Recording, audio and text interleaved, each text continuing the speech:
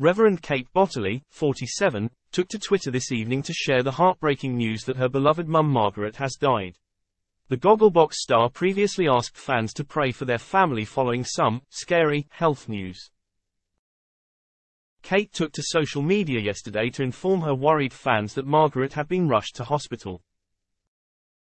Today, she shared the devastating news that her mother had died, posting pictures of them both from when she was younger and from later in life. She really was a smasher, she wrote in a sweet tribute to her late mum. May the souls of the faithful departed rest in peace and rise in glory. In a follow-up tweet, Kate added, and we'll take all the prayers, mass intentions and general positive thoughts we can get, thanks. Also FYI Dry January is cancelled, she bloody loved a Bacardi and Coke, sick. Earlier today, Kate sent out an urgent plea to her Twitter followers after her mum was taken ill. Please pray for M, Lord in your mercy, she wrote. Last Tuesday, the star revealed her mother had been in hospital for several weeks following some scary health news. My mum has been in hospital for three weeks, she wrote this time last week. She's due home tomorrow. It's been tricky emotionally as well as physically.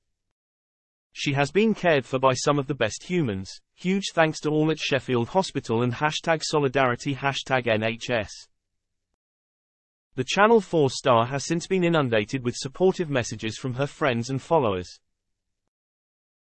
MP Jess Phillips wrote, All my love for X. Sick. Sending a big hug. She looks like a good, un and must have been so proud of you, Jackie Smith added. Sick.